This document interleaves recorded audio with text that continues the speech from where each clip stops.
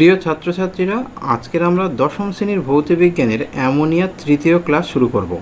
এই ক্লাসে অ্যামোনিয়ার কিছু গুরুত্বপূর্ণ রাসায়নিক ধর্ম পড়ব। অর্থাৎ অ্যামোনিয়ার রাসায়নিক বিক্রিয়া এবং সেই সমস্ত রাসায়নিক বিক্রিয়ার রাসায়নিক সমীকরণ পড়ব। রাসায়নিক সমীকরণগুলি কত সহজে সমতা বিধান করা যায় সেটাও এই ক্লাসে আমরা শিখব। চলো এখন আমরা শুরু করি। অ্যামোনিয়ার রাসায়নিক ধর্ম।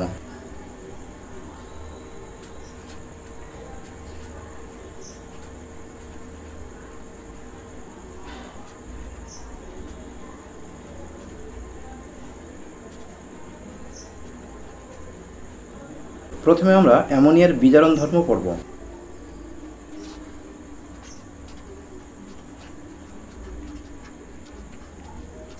উত্তপ্ত কিউপ্রিক অক্সাইডের উপর দিয়ে যদি অ্যামোনিয়া গ্যাস চালনা করা হয়, তাহলে কিউপ্রিক অক্সাইড বিজারিত হয়ে ধাতব কপার উৎপন্ন করে এবং অ্যামোনিয়া জারিত হয়ে নাইট্রোজেন গ্যাসে পরিণত হয়। কি বললাম? উত্তপ্ত কিউপ্রিক অক্সাইডের উপর দিয়ে যদি অ্যামোনিয়া গ্যাস চালনা করা হয়, তাহলে কিউপ্রিক অক্সাইড বিজারিত হয়ে ধাতব কপারে পরিণত হয় এবং অ্যামোনিয়া জারিত হয়ে নাইট্রোজেনে পরিণত হয়। এবার এই বিক্রিয়াটির রাসায়নিক সমীকরণ দেখো। কিউপ্রিক অক্সাইড প্লাস অ্যামোনিয়া এখান থেকে উৎপন্ন হবে ধাতব কপার প্লাস নাইট্রোজেন প্লাস জল। অর্থাৎ জলীয় বাষ্প। কারণ কিউপ্রিক অক্সাইড উত্তপ্ত, তাই উৎপন্ন জল তরল অবস্থায় থাকবে না, জলীয় বাষ্প আকারে থাকবে। এবার এই সমীকরণটা আমরা ব্যালেন্স করব। প্রথমে দেখো, এই সমীকরণের বাম দিকে কিউপ্রিক অক্সাইডের মধ্যে কপারের পরমাণু আছে একটি। এখানে আছে কপারের একটি পরমাণু। তাহলে সমীকরণের বাম দিকে এবং ডান দিকে কপারের পরমাণু সংখ্যা সমান। এবার নাইট্রোজেনের পরমাণু সংখ্যা দেখো, বাম দিকে আছে একটি, ডান দিকে আছে দুটি। তাহলে সমান করার জন্য এখানে আমরা দুই গুণ করব। এবার হাইড্রোজেন পরমাণু দেখো, অ্যামোনিয়াতে ছিল তিনটি, এখানে দুই গুণ করেছি, তাহলে হয়েছে ছটি। এখানে আছে দুটি, এখানে তিন গুণ করলে হবে ছটি। এবার অক্সিজেন পরমাণু, এখানে ছিল একটি, তিন গুণ করেছি, হয়েছে তিনটি। তাহলে এখানে আমরা তিন গুণ করলে অক্সিজেন পরমাণু মিলে যাবে। কিন্তু এখানে তিন গুণ করার ফলে কপারের পরমাণু সংখ্যা এক থেকে বেড়ে তিনটি হয়ে গেছে, তাই কপারের পরমাণু সংখ্যা এখন তিনটি করতে হবে। এই অবস্থায় দেখো, সমীকরণের বাম দিকে এবং ডান দিকে কপার নাইট্রোজেন হাইড্রোজেন অক্সিজেন প্রত্যেকের পরমাণু সংখ্যা সমান হয়ে গেছে। তাই এটাকে আমরা বলব ব্যালেন্সড ইকুয়েশন বা সমতাযুক্ত সমীকরণ। তাই আমরা এখানে সমান চিহ্ন দেব। এটা যে জারণ বিজারণ বিক্রিয়া সেটা কীভাবে বুঝবে? এখানে দেখো কিউপ্রিক অক্সাইড থেকে কপার উৎপন্ন হয়েছে। অর্থাৎ এখানে অক্সিজেন বেরিয়ে গেছে। কিউপ্রিক অক্সাইড থেকে অক্সিজেন বেরিয়ে গেলে তবে কপার উৎপন্ন হবে। কোনো বিক্রিয়াতে অক্সিজেন যদি বেরিয়ে যায়, তাহলে সেই বিক্রিয়াকে বলে বিজারণ বিক্রিয়া। তাহলে এটা হবে বিজারণ বিক্রিয়া। আবার এখানে দেখো, অ্যামোনিয়া এখান থেকে উৎপন্ন হয়েছে নাইট্রোজেন। অ্যামোনিয়া থেকে যদি হাইড্রোজেন বেরিয়ে যায়, তবে নাইট্রোজেন উৎপন্ন হবে। কোনো বিক্রিয়াতে হাইড্রোজেন বেরিয়ে গেলে সেই বিক্রিয়াকে বলে জারণ বিক্রিয়া। তাহলে এটাই লিখব আমরা জারণ। বা জারণ বিক্রিয়া। অর্থাৎ কিউপ্রিক অক্সাইড বিজারণ বিক্রিয়াতে অংশগ্রহণ করেছে, তার মানে কিউপ্রিক অক্সাইড বিজারিত হয়েছে হয়ে কপার উৎপন্ন করেছে এবং অ্যামোনিয়া জারণ বিক্রিয়াতে অংশগ্রহণ করেছে, তার মানে অ্যামোনিয়া জারিত হয়েছে হয়ে নাইট্রোজেন উৎপন্ন করেছে। এখানে মনে রাখবে কিউপ্রিক অক্সাইড এর বর্ণ হচ্ছে কালো এবং উৎপন্ন হয়েছে যে কপার, তার বর্ণ হচ্ছে লাল। তাহলে এই বিক্রিয়াটা আবার বলি যে কালো বর্ণের উত্তপ্ত কিউপ্রিক অক্সাইডের উপর দিয়ে অ্যামোনিয়া গ্যাস চালনা করলে কিউপ্রিক অক্সাইড বিজারিত হয়ে লাল বর্ণের কপারে পরিণত হয় এবং অ্যামোনিয়া জারিত হয়ে নাইট্রোজেন গ্যাসে পরিণত হয়। এই ধরনের আরেকটি বিক্রিয়া আমরা দেখব। উত্তপ্ত লেড অক্সাইডের উপর দিয়ে অ্যামোনিয়া গ্যাস চালনা করলে লেড অক্সাইড বিজারিত হয়ে ধাতব লেড উৎপন্ন করে এবং অ্যামোনিয়া জারিত হয়ে নাইট্রোজেন গ্যাস উৎপন্ন হয় এবং জলীয় বাষ্প উৎপন্ন হয়। এবার আমরা এই সমীকরণটা ব্যালেন্স করব। প্রথমে দেখো, সমীকরণের বাম দিকে লেডের পরমাণু সংখ্যা একটি, ডান দিকেও লেডের পরমাণু সংখ্যা একটি, অর্থাৎ সমান। এবার নাইট্রোজেন পরমাণু দেখো, সমীকরণের বাম দিকে আছে একটি, ডান দিকে আছে দুটি। তাহলে সমান করার জন্য এখানে আমরা দুই গুণ করে দেব। এবার হাইড্রোজেন পরমাণু দেখো, যে ছিল তিনটি, দুই গুণ করেছি হয়েছে ছটি। কিন্তু ডান দিকে আছে দুটি, তাহলে এখানে তিন গুণ করলে হয়ে যাবে ছটি। এবার আমরা অক্সিজেন পরমাণু মিল করব। অক্সিজেন পরমাণু দেখো, সমীকরণের ডান দিকে আছে তিনটি, বাম দিকেও তিনটি হতে হবে, এখানে একটি আছে, তাহলে এখানে তিন গুণ করলে হবে তিন। কিন্তু এখানে তিন গুণ করার ফলে লেডের পরমাণু সংখ্যা একটা ছিল, হয়ে গেছে তিনটে, তাহলে লেডটাও বাড়াতে হবে, তিনটে করতে হবে। এই অবস্থা দেখো, সমীকরণের বাম দিকে এবং ডান দিকে সমস্ত ধরনের পরমাণু সংখ্যা সমান, তাই আমরা সমান করে দেব, অর্থাৎ এটা হচ্ছে এখন সমতাযুক্ত সমীকরণ বা ব্যালেন্সড ইকুয়েশন এখানে মনে রাখবে লেড অক্সাইডের বর্ণ হচ্ছে হলুদ এবং লেডের বর্ণ হচ্ছে ধূসর। এখানে দেখো, এটা একটা জারণ বিজারণ বিক্রিয়া, কারণ লেড অক্সাইড থেকে উৎপন্ন হয়েছে লেড তার মানে এখানে অক্সিজেন বেরিয়ে গেছে। ছিল লেড এবং অক্সিজেন শুধু এখানে আছে লেড তার মানে অক্সিজেন বেরিয়ে গেছে। অক্সিজেন বেরিয়ে যাওয়া বিক্রিয়াকে বলে বিজারণ বিক্রিয়া। আবার এখানে দেখো, অ্যামোনিয়া থেকে উৎপন্ন হয়েছে নাইট্রোজেন, তার মানে এখানে হাইড্রোজেন বেরিয়ে গেছে। হাইড্রোজেন বেরিয়ে যাওয়াকে বলে জারণ বিক্রিয়া। বিক্রিয়াটি আরও একবার শোনা। হলুদ বর্ণের উত্তপ্ত লেড অক্সাইডের উপর দিয়ে অ্যামোনিয়া গ্যাস চালনা করলে লেড অক্সাইড বিজারিত হয়ে ধাতব লেড উৎপন্ন হয় এবং অ্যামোনিয়া জারিত হয়ে নাইট্রোজেন গ্যাস উৎপন্ন করে। এবার আমরা দেখব এই বিক্রিয়া থেকে কী ধরনের প্রশ্ন পরীক্ষাতে আসতে পারে। এক নম্বর, কীভাবে প্রমাণ করবে অ্যামোনিয়াতে নাইট্রোজেন আছে? কিংবা এমনও প্রশ্ন হতে পারে যে উত্তপ্ত কিউপ্রিক অক্সাইডের উপর দিয়ে অ্যামোনিয়া গ্যাস চালনা করলে কী ঘটবে সমীকরণ সহ লেখক। কিংবা উত্তপ্ত লেড অক্সাইডের উপর দিয়ে অ্যামোনিয়া গ্যাস চালনা করলে কী ঘটবে সমীকরণ সহ লেখক। এছাড়া হতে পারে অ্যামোনিয়ার বিজারণ ধর্মের উদাহরণ দাও। এবার আমরা পড়ব অ্যামোনিয়ার খাদ ধর্ম।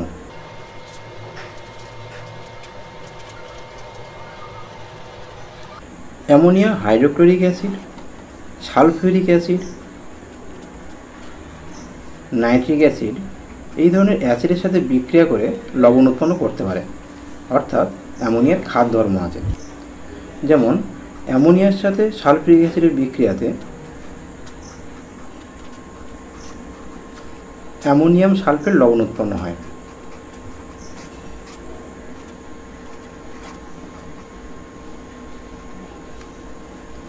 কিংবা অ্যামোনিয়ার সাথে নাইট্রিক অ্যাসিড বিক্রিয়াতে অ্যামোনিয়াম নাইট্রেট লবণ উৎপন্ন হয়।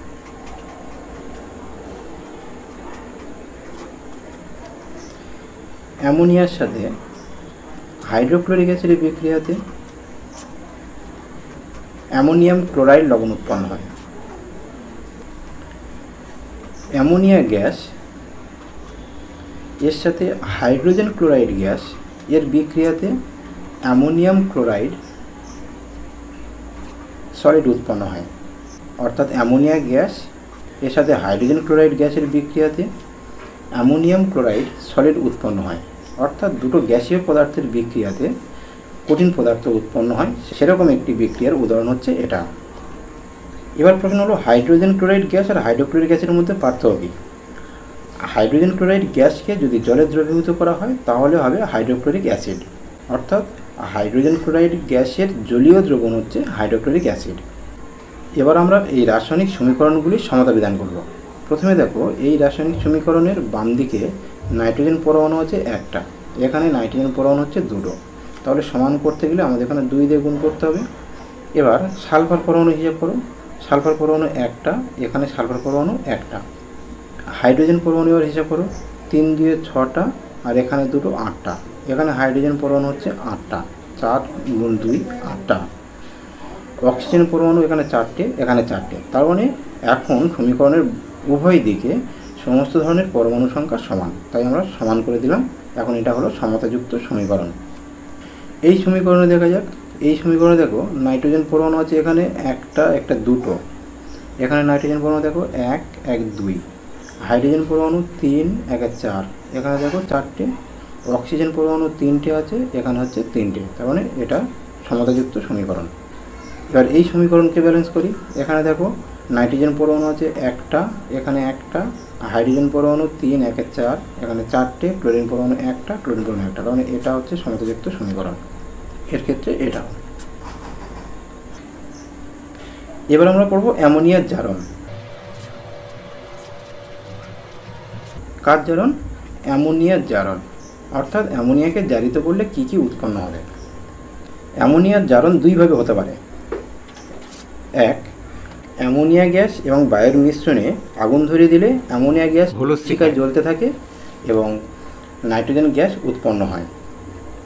ফলে অ্যামোনিয়া এর সাথে বায়ু তার মানে অক্সিজেনের বিক্রিয়া এখানে উৎপন্ন হবে নাইট্রোজেন এবং জল অর্থাৎ জলীয় বাষ্প। এবার আমরা এই সমীকরণটি ব্যালেন্স করব। প্রথমে দেখো সমীকরণের বাম দিকে আছে নাইট্রোজেন পরমাণু একটি, ডান দিকে দুটি। তাহলে আমরা এখানে দুই দিয়ে গুণ করে দেবো। দুটো নাইট্রোজেন পরমাণু দুদিকে হয়ে যাবে। সমীকরণের বাম দিকে দেখো, হাইড্রোজেন পরমাণু হচ্ছে তিন দুয়ে ছটি। এখানে আছে দুটি, তাহলে এখানে ছটা করতে গেলে তিন দিয়ে গুণ করব। এবার অক্সিজেন পরমাণু হিসাব করব। এখানে দেখো অক্সিজেন পরমাণু তিনটি, এখানে আছে দুটি। তাহলে দুটো আছে, এটাকে তিনটে করতে হবে। তাহলে দুটো থেকে করতে হবে তিনটে। দুটো থেকে তিনটে করা যাবে যদি এর সাথে তিনের দুই গুণ করা যায়। অর্থাৎ এখানে যদি আমরা তিনের দুই গুণ করে দিই, তাহলে অক্সিজেন পরমাণু সংখ্যা দুদিকে মিলে যাবে, কারণ এটা কেটে যাবে। এখন দেখো, এই সমীকরণের এখানে একটা ফ্র্যাকশন গুণ আছে। এই ফ্র্যাকশনটা আমরা রাখব না, অর্থাৎ নিচের দুইটাকে আমরা রাখব না, দুইটা তুলে দেবো। তাহলে দুই তুলে দিতে গেলে কী করতে হবে? না, সমীকরণের বাম দিকে এবং ডান দিকে দুই গুণ করতে হবে। অর্থাৎ ব্যালেন্স সমীকরণটি হবে four NH three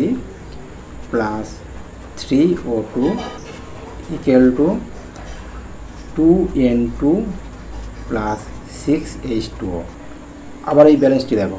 সমীকরণের বাম দিকে নাইট্রোজেন পরমাণু একটি, ডান দিকে দুটি। তাই এখানে আমরা দুই দিয়ে গুণ করেছি নাইট্রোজেন পরমাণু সমান হয়ে গেছে। এবং হাইড্রোজেন পরমাণু সমীকরণের বাম দিকে হচ্ছে ছটি, এখানে তিন দিয়ে গুণ করেছি, তাহলে হাইড্রোজেন পরমাণু ছটি হয়ে গেছে, সমান হয়ে গেছে। এবার অক্সিজেন পরমাণু সমীকরণের ডান দিকে হচ্ছে তিনটি, কিন্তু বাম দিকে আছে দুটি। এই দুটো থেকে তিনটে করতে হবে। দুটো থেকে তিনটে করার জন্য কী করেছি? এই দুইয়ের সাথে তিনের দুই গুণ করেছি। করলে তিন হয়েছে। তাই এই যাতে আমরা তিনের দুই বসাবো। এবার যেহেতু এটা ফ্র্যাকশান নিচে দুই আছে, তাই কী হবে? না, সমীকরণের বাম দিকে এবং ডান দিকে দুই দিয়ে গুণ করে দেবো। তাহলে এখানে দুই দিয়ে গুণ করলে হবে চার। এখানে দুই দিয়ে গুণ করলে এই দুইয়ের সাথে কেটে যাবে, অর্থাৎ তিন থাকবে। এখানে দুই দিয়ে গুণ করলে টু এন টু হবে। এখানে দুই দিয়ে গুণ করলে সিক্স এইচ টু হবে। এটা গেল বায়ুতে অ্যামোনিয়ার দহন। দু নম্বর, অনুঘটকের উপস্থিতিতে অ্যামোনিয়ার দহন বা অনুঘটকের উপস্থিতিতে অ্যামোনিয়ার জারণ। সাতশো ডিগ্রি সেলসিয়াস তাপমাত্রায় প্লাটিনাম তারজালির উপর দিয়ে অ্যামোনিয়া গ্যাসকে চালনা করলে অ্যামোনিয়া জারিত হয়ে নাইট্রিক অক্সাইডে পরিণত হয়। কী বললাম সাতশো ডিগ্রি সেলসিয়াস তাপমাত্রায় প্লাটিনাম তারজালির উপর দিয়ে অ্যামোনিয়া এবং বায়ুর মিশ্রণকে চালনা করলে, অতি দ্রুত চালনা করলে নাইট্রিক অক্সাইড উৎপন্ন হয়। অর্থাৎ অ্যামোনিয়া জারিত হয়ে নাইট্রিক অক্সাইড উৎপন্ন করে। এই রাসায়নিক বিক্রিয়াটির সমীকরণ লিখিয়ে বলে।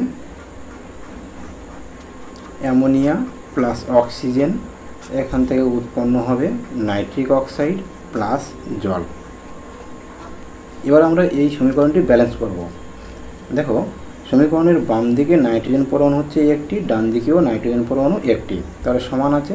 এবার হাইড্রোজেন পরমাণু দেখো, সমীকরণের বাম দিকে হচ্ছে তিনটি, ডান দিকে দুটি। তাহলে আমরা এটাকে যদি ছটা করে দিই, এটাও ছটা করে দিই, তাহলে সমান হয়ে যাবে। তাহলে এখানে দুই দিয়ে গুণ করে দিই, ছটা হয়ে গেল। এখানে তিন দিয়ে গুণ করে দিই, ছটা হয়ে গেল। এবার দেখো, এখানে দুই গুণ করার সাথে সাথে নাইট্রোজেন পরমাণু দুটি হয়ে গেছে। তাহলে এখানে দুই গুণ করে দিতে হবে নাইট্রোজেন পরমাণু সমান রাখার জন্য। এবার আমরা অক্সিজেন পরমাণু হিসেব করব। অক্সিজেন পরমাণু দেখো, সমীকরণের ডান দিকে আছে দুটো আর এখানে হচ্ছে তিনটে। আবার দেখো, দুটো আর এখানে হচ্ছে তিনটে, তাহলে মোট হচ্ছে পাঁচটা। তাহলে বাম দিকে পাঁচটা করতে হবে। কিন্তু বাম দিকে আছে কটা? বাম দিকে আছে দুটো। তাহলে দুটো আছে, এখান থেকে করতে হবে পাঁচটা। কীভাবে করতে পারব? না, দুইয়ের সাথে যদি আমরা পাঁচের দুই গুণ করে দিই, তাহলে পাঁচটা হবে। কারণ এই দুই আর এই দুই কেটে যাবে, পাঁচটা হবে। তার মানে এখানে আমাদের পাঁচের দুই গুণ করতে হবে। এবার দেখো, এটা একটা ফ্র্যাকশান গুণ করেছি। ফ্র্যাকশান তো আমরা গুণ করে রাখব না। তাই এখান থেকে দুইটা আমাদের তুলে দিতে হবে। দুই তুলব কী করে? সমীকরণের বাম দিকে এবং ডান দিকে আমরা প্রত্যেকের সাথে দুই গুণ করব। তাহলে ব্যালেন্স সমীকরণটা কী হবে? না, এখানে দুই গুণ করলে হবে four N H three plus এখানে দুই গুণ করলে হবে five O two equal to এখানে দুই গুণ করলে হবে ফোর এনও প্লাস এখানে দুই গুণ করলে হবে সিক্স এইচ টু ও তাহলে দেখো কত সহজে এই ধরনের রাসায়নিক সমীকরণকে সমতাযুক্ত করা যায়। এবার আমরা পড়ব ধাতব সোডিয়ামের সাথে অ্যামোনিয়ার বিক্রিয়া।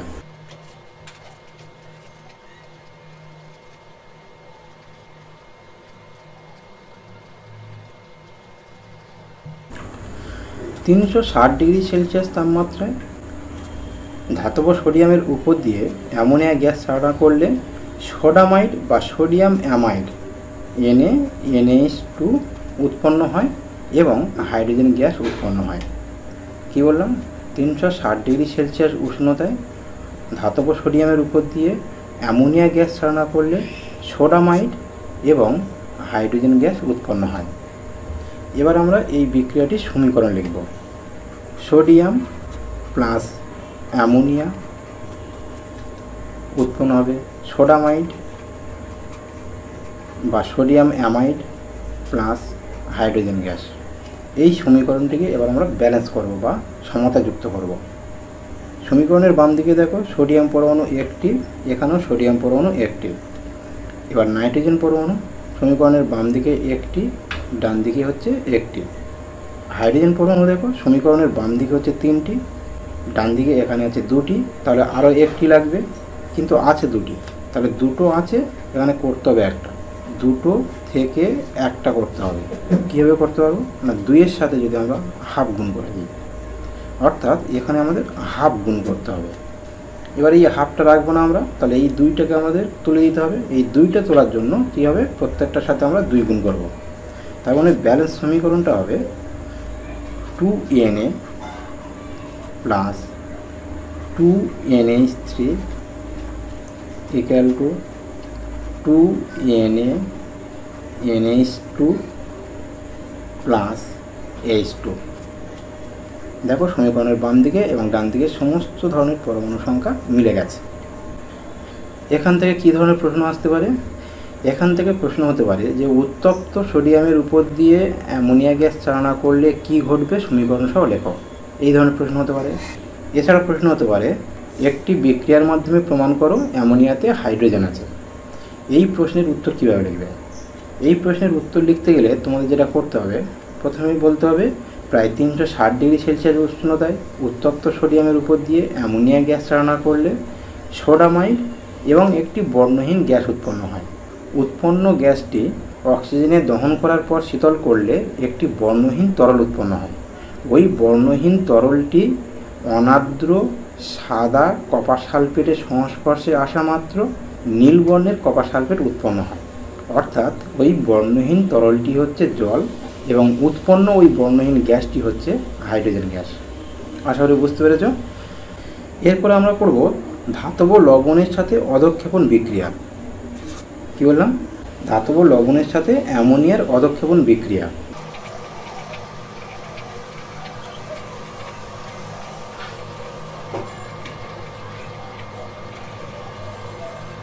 এক নম্বর বর্ণহীন অ্যালুমিনিয়াম ক্লোরাইডের জলীয় দ্রবণের মধ্যে দিয়ে অ্যামোনিয়া গ্যাস ছাড়া করলে কিংবা বর্ণহীন অ্যালুমিনিয়াম ক্লোরাইডের জলীয় দ্রবণে অ্যামোনিয়াম হাইড্রোক্সাইড যোগ করলে অ্যালুমিনিয়াম হাইড্রোক্সাইডের সাদা থকথকে অধক্ষেপ উৎপন্ন হয়। আবার বলছি, বর্ণহীন অ্যালুমিনিয়াম ক্লোরাইডের জলীয় দ্রবণের মধ্যে অ্যামোনিয়া গ্যাস প্রবেশ করালে কিংবা অ্যামোনিয়াম হাইড্রোক্সাইড যোগ করলে অ্যালুমিনিয়াম হাইড্রোক্সাইডের থকথকে সাদা অধক্ষেপ উৎপন্ন হয়। এর বিক্রিয়াটা হচ্ছে aluminium chloride plus ammonium hydroxide. Ammonium hydroxide হচ্ছে অ্যামোনিয়ার জলীয় দ্রবণ। অর্থাৎ অ্যামোনিয়াকে জলে দ্রবীভূত করলে অ্যামোনিয়াম হাইড্রোক্সাইড উৎপন্ন হয়। এখান থেকে উৎপন্ন হবে L OH whole three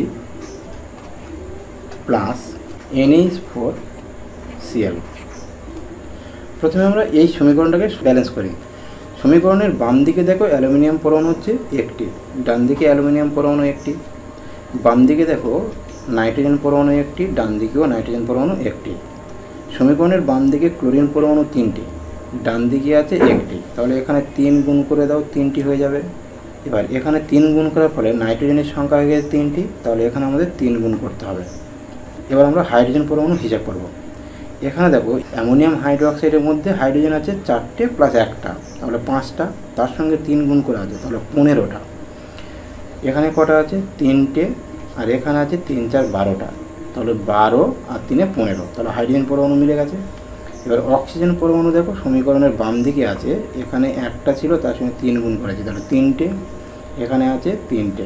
তাহলে অক্সিজেন মিলে গেছে। তাহলে aluminium, chlorine, nitrogen, hydrogen, oxygen সবাই মিলে গেছে। তাহলে এটা আমরা এখন সমান করে দেবো। এবার বলি, এটা কী ধরনের বিক্রিয়া?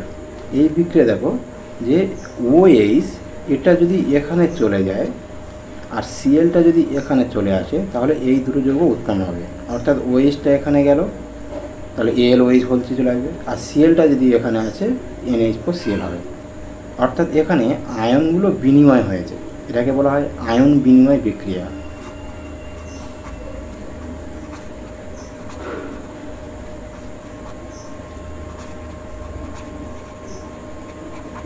কী বললাম আয়ন বিনিময় বিক্রিয়া বা আয়ন এক্সচেঞ্জ রিয়াকশান এই ধরনের আরেকটি বিক্রিয়া দেখি। হলুদ বর্ণের ফেরিক ক্লোরাইড দ্রবণের মধ্য দিয়ে অ্যামোনিয়া গ্যাস চালনা করলে কিংবা হলুদ বর্ণের ফেরিক ক্লোরাইড দ্রবণের মধ্যে অ্যামোনিয়াম হাইড্রোক্সাইড যোগ করলে বাদামি বর্ণের ফেরিক হাইড্রোক্সাইড উৎপন্ন হয় এবং অ্যামোনিয়াম ক্লোরাইড উৎপন্ন হয়। কি বললাম হলুদ বর্ণের ফেরিক ক্লোরাইড দ্রবণের মধ্যে অ্যামোনিয়াম হাইড্রোক্সাইড যোগ করলে বাদামি বর্ণের ফেরিক হাইড্রোক্সাইড উৎপন্ন হয় এবং অ্যামোনিয়াম ক্লোরাইড উৎপন্ন হয়। এটাও আগেরটার মতো আয়ন বিনিময় বিক্রিয়া। এখানে দেখো ওয়েস্টটা এখানে চলে যাবে আর সিএলটা এখানে গেলে এই দুটো যৌগ উৎপন্ন হবে। এবার এটাকে আমরা ব্যালেন্স করব। আগের মতো এখানে তিন দিয়ে দাও আর এখানে তিন দিয়ে দাও, তাহলে ব্যালেন্স হয়ে গেছে। এবার বলি, এখান থেকে কী ধরনের প্রশ্ন হতে পারে? এক নম্বর, বর্ণহীন অ্যালুমিনিয়াম ক্লোরাইডের দ্রবণে অ্যামোনিয়াম হাইড্রোক্সাইড যোগ করলে কী ঘটবে সমীকরণ সহ লেখো। কিংবা হলুদ বর্ণের ফেরিক ক্লোরাইড দ্রবণে অ্যামোনিয়াম হাইড্রোক্সাইড যোগ করলে কী ঘটবে সমীকরণ সহ লেখো। এই ধরনের প্রশ্ন হতে পারে। এছাড়া প্রশ্ন হতে পারে যে পরীক্ষাগারে অ্যালুমিনিয়াম আয়ন শনাক্ত করতে আমরা কোন ধরনের বিক্রিয়ার সাহায্য নেব? কিংবা একটি ধাতব লবণের মধ্যে ফেরিক আয়ন আছে কিনা, সেটা তুমি কীভাবে নির্ণয় করবে? এই প্রশ্নগুলো কিন্তু এখান থেকে হতে পারে। ধাতব আয়ন শনাক্তকরণের জন্য তোমাদের যে উত্তরটা লিখতে হবে, সেটা লিখবে, বর্ণহীন একটি ধাতব লবণের জলীয় দ্রবণে অ্যামোনিয়াম হাইড্রোক্সাইড যোগ করা হলো। দেখা গেল, সাদা সপ্তবে একটি জেলির মতো পদার্থ উৎপন্ন হয়েছে বা অধক্ষিপ্ত হয়েছে। ওই পদার্থটি হচ্ছে অ্যালুমিনিয়াম হাইড্রোক্সাইড, অর্থাৎ ওই লবণের মধ্যে অ্যালুমিনিয়াম প্লাস থ্রি আয়ন আছে।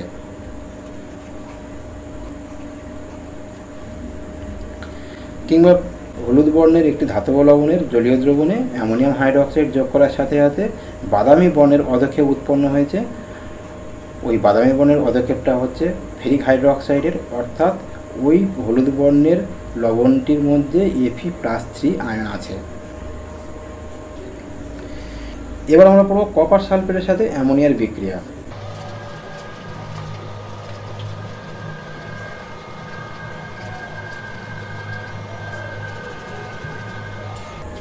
কপার সালফেট, এর বর্ণ তোমরা জানো নীল। অর্থাৎ কপার সালফেটের জলীয় দ্রবণ হচ্ছে নীল। এই কপার সালফেটের জলীয় দ্রবণে যদি আমরা ধীরে ধীরে অ্যামোনিয়াম হাইড্রোক্সাইড যোগ করি বা অল্প পরিমাণে অ্যামোনিয়াম হাইড্রোক্সাইড যোগ করি, তাহলে নীল বর্ণের ওই দ্রবণটি হয়ে যাবে নীলাভ সাদা।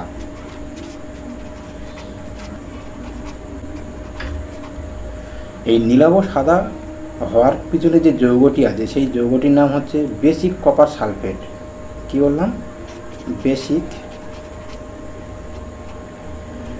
কপার সালফেট যার সংকেত হচ্ছে C U S O four C U O H whole two এই যৌগটি বলছি আমরা বেসিক কপার সালফেট কপার সালফেটের জলীয় দ্রবণে যদি আমরা বেশি পরিমাণে যদি অ্যামোনিয়াম হাইড্রোক্সাইড যোগ করি, তাহলে গাঢ় নীল বর্ণের দ্রবণ পাব।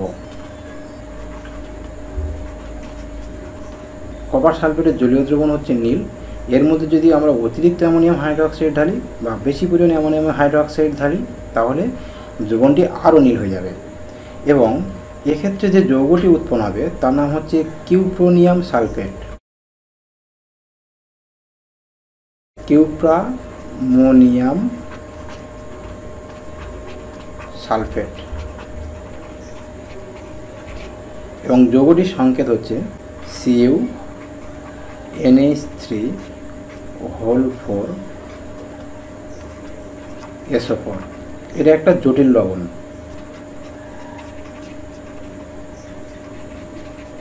কি বললাম? কপার সালফেটের বর্ণ হচ্ছে নীল।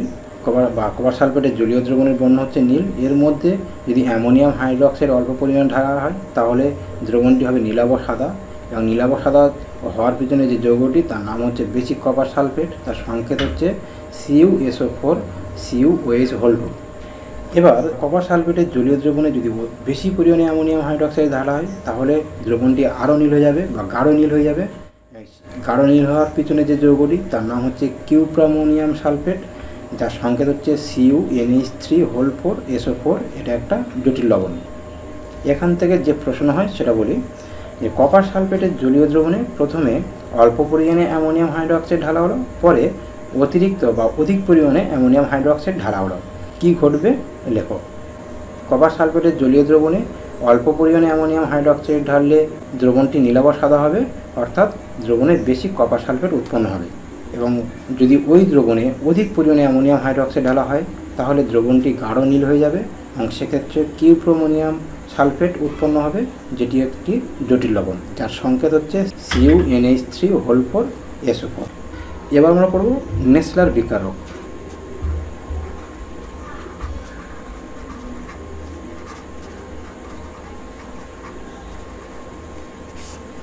নেসলার বিকারক কী? নেসলার বিকারক হচ্ছে পটাশিয়াম মার্কিউরিক আয়োডাইডের ক্ষারীয় দ্রবণ বা ক্ষারীয় পটাশিয়াম মার্কিউরিক আয়োডাইডের দ্রবণকে নেসলার বিকারক বলে। পটাশিয়াম মার্কিউরিক আয়োডাইডের সংকেত হচ্ছে K two H G I four এটা একটা জটিল লবণ। নেসলার বিকারক দিয়ে কি করা হয়? বায়ুতে কিংবা জলে যে সামান্য পরিমাণে অ্যামোনিয়া আছে কিনা, সেটা নেসলার বিকারকের সাহায্যে নির্ণয় করা যায়। সামান্য পরিমাণ অ্যামোনিয়া নেসলার বিকারকের সংস্পর্শে এলে নেসলার দ্রবণটি তামাটে বাদামি বর্ণ ধারণ করে। এই বিক্রিয়া দ্বারা আমরা বায়ুতে কিংবা জলে থাকা সামান্য পরিমাণে অ্যামোনিয়াকে নির্ণয় করতে পারি। অ্যামোনিয়ার সাথে নেসলার বিকারকের বিক্রিয়ায় যে পদার্থটি উৎপন্ন হয়, তার নাম হচ্ছে আয়োডাইড অব মিলন্স বেস কী বললাম? অ্যামোনিয়ার সাথে নেসলার বিকারকের বিক্রিয়ায় যে পদার্থটি উৎপন্ন হয়, তার নাম হচ্ছে আয়োডাইড অফ মিলন্স বেস